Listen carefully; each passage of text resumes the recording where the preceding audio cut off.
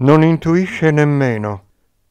Che cosa vuol dire la frase ha un cervello quanto un'acciuga? Commento. Vuol dire che la persona a cui è indirizzata si comporta avventatamente e senza giudizio.